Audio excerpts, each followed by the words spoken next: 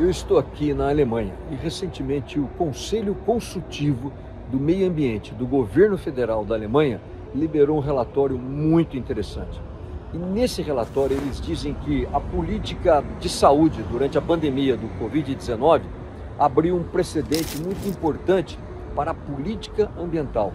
Ou seja, eles entenderam que aquelas medidas draconianas que o governo tomou, e aqui na Alemanha não foi diferente, eles fizeram um lockdown uh, draconiano completo, praticamente tudo foi fechado, sinaliza que quando o governo sabe explorar esse sentimento, às vezes do medo, e passar uma mensagem, segundo eles, correta, eles conseguem alterar o comportamento das pessoas.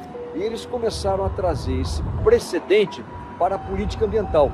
Então, agora, recentemente, por exemplo, eles fizeram com que as pessoas passassem o inverno numa temperatura mais baixa, eles proibiram o aquecimento de piscinas privadas e a partir disso, esse relatório está sugerindo ao governo da Alemanha que eles tomem medidas semelhantes àquelas durante a pandemia também na área ambiental. Ou seja, eles estão sugerindo o aumento do poder do Estado na vida das pessoas. Eles descobriram, através da pandemia, esse caminho de você fortalecer o Estado.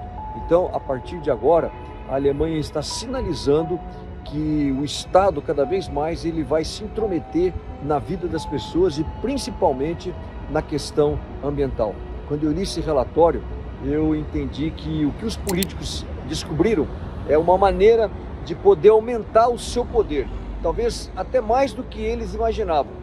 E a partir de agora, eu penso que eles vão cada vez mais testar os limites da sociedade, inclusive na área ambiental, até onde eles podem chegar com esse gigantismo estatal na vida de cada um.